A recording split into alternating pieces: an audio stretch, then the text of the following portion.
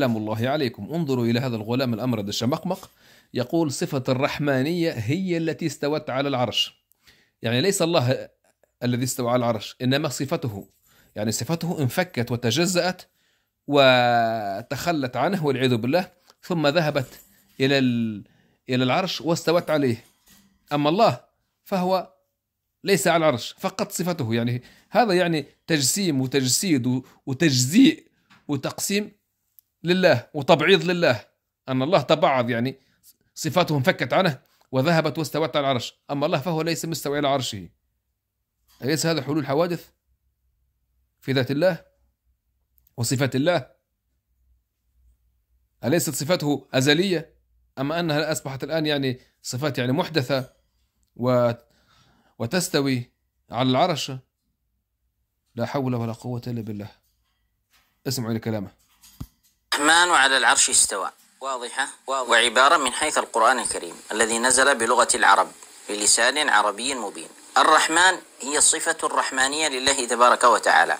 فالله تبارك وتعالى يخبرنا بأن صفة الرحمة أو صفة الرحمانية استوت على جميع ملك الله تبارك وتعالى. فالعرش في الآية الرحمن على العرش أي على ملكه.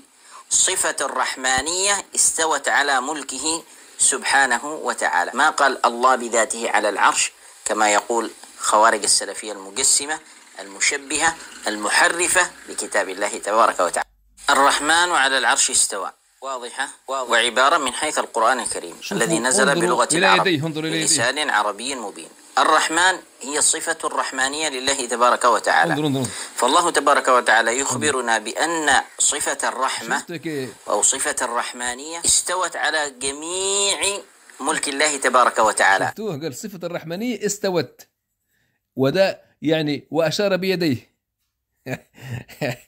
آية مجسم. والله شفته يعني سبحان الله. كفريات تخرج من فيه يعني سبحان الله يقول ليس الله الذي استوى على العرش إنما رحمانيته يعني صفة الله هي اللي استوت على العرش.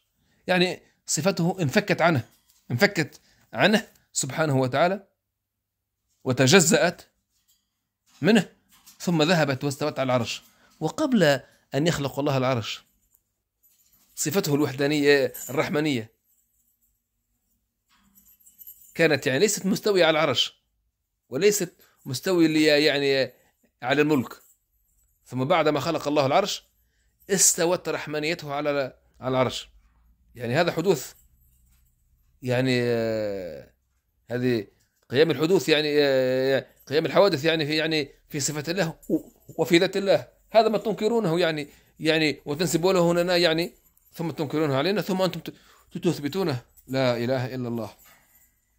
صفعة جديدة لهذا الغلام الأشعري الصوفي القبوري المشرك.